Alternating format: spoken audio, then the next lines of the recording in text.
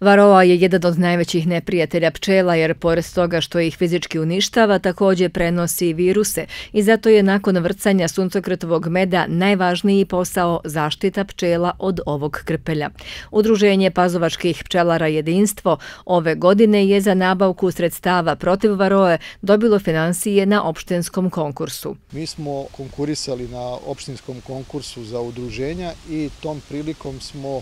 za naš projekat e, zaštite e, pčelinjih društava na teritoriji opštine Stara Pazova od pčelinja Krpelja Varoje dobili 150.000 dinara e, opštinskih sredstava. Mi smo još na ta sredstva dodali nekih 50.000 dinara nasriših sobstvenih sredstava od udruženja i kupili te preparate da bi svi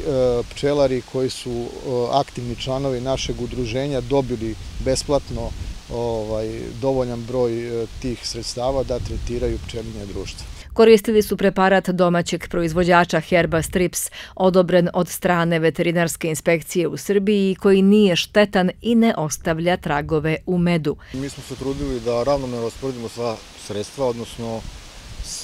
sve preparate koje smo dobili od e, opštine i uz, kao što je rekao predsjednik, uz naša dodatna sredstva da dobijemo po nekih sedam pakovanja gde može iz jednog pakovanja da se pet košnica tretira. Prema dogovoru, preko 40 aktivnih članova tretman je radilo istovremeno. Bitno je jako bilo da e, svi pčelari sa teritorije opštine Stara Pazova, naši članovi, a mi kod nas je većina tih pčelara, ovaj, u udruženju da u isto vreme tretiraju pčelinja društva sa tim, jer se tako postiže najbolji efekat zato što onda pčele ne prenose varovu sa E, očišćeni, e, sa neočišćenih društava na očišćene društva i tako postižemo najbolji efekat zaštite. Da vidimo koliko je uspešnost i da li je potrebno još uz neke dodatne kontrole da se